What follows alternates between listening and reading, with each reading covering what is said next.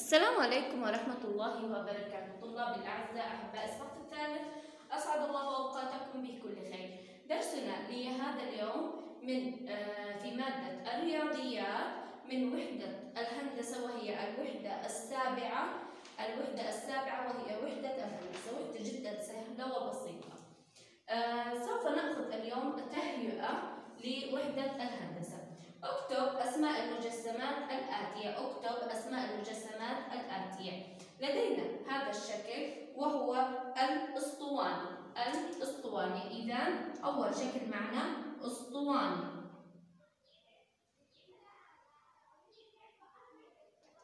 وهذا شكل المكعب. وهذا شكل أيضا دائري. وهذا شكل أيضا مخروطي.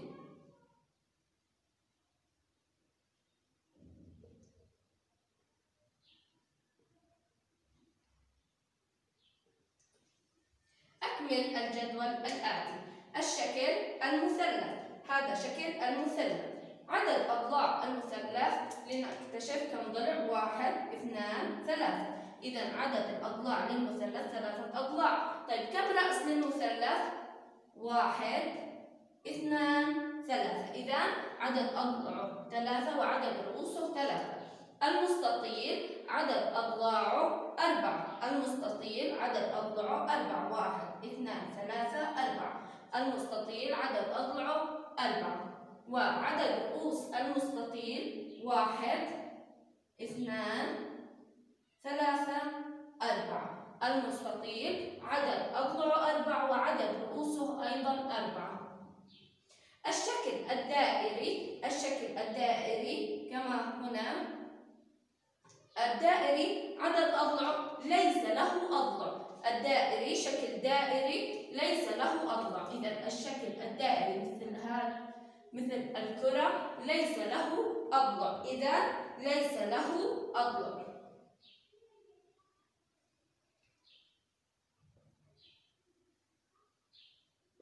طيب عدد رؤوسه عدد رؤوسه أيضا ليس له رؤوس.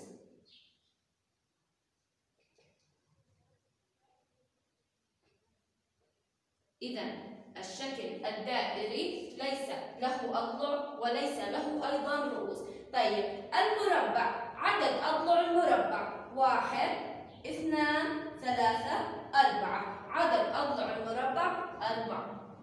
وعدد واحد اثنان ثلاثة أربعة. أيضا أربعة.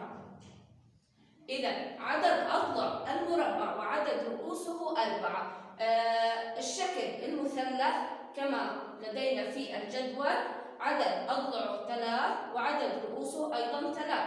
والمستطيل عدد رؤوسه آه أربعة وعدد أضلعه أيضا أربعة. الشكل الدائري ليس له أضلع وليس له رؤوس المربع عدد أضلعه أربعة واحد اثنان ثلاثة أربعة وعدد رؤوسه أيضا أربعة ننتقل إلى صفحة 65 آه، يا ثالث أحدد عدد الأحرف والرؤوس والأوجه للمكعب كنا بنعرف أن المكعب عبارة عن آه، مربع مربعين. تمام؟ عدد أحرفه عدد أحرف المكعب 12 حرف. واحد اثنان ثلاثة أربعة واحد اثنان ثلاثة أربعة خمسة ستة سبعة ثمانية تسعة. عشرة 11 12 إذا عدد أحرف المكعب 12 حرف. عدد أحرف المكعب 12 حرف. عدد رؤوس المكعب الرأس وهو من هنا واحد اثنان واحد اثنان ثلاث أربعة خمسة ستة سبعة ثمانية. إذا عدد رؤوس المكعب ثمان رؤوس وعدد الأحرف 12 حرف طيب إذا جينا نسأل عن عدد الأوجه كم وجه لدينا في المكعب؟ كم وجه؟ وهو ست أوجه كيف عرفنا أنه ست أوجه؟ لأن المكعب يا ثالث عبارة عن مربع مربع واحد اثنين ثلاثة أربعة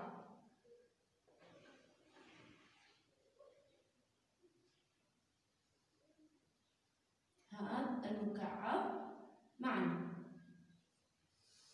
إذا واحد عدد الأوجه واحد اثنان ثلاث أربعة خمسة ستة. إذا ستة أوجه للمكعب عدد أوجه المكعب ستة أوجه وهو يرجع إلى شكل المربع وهو يرجع إلى شكل المربع. هيك إن شاء الله بنكون انتهينا من التهيئة سوف ننتقل إلى الدرس الأول بإذن الله.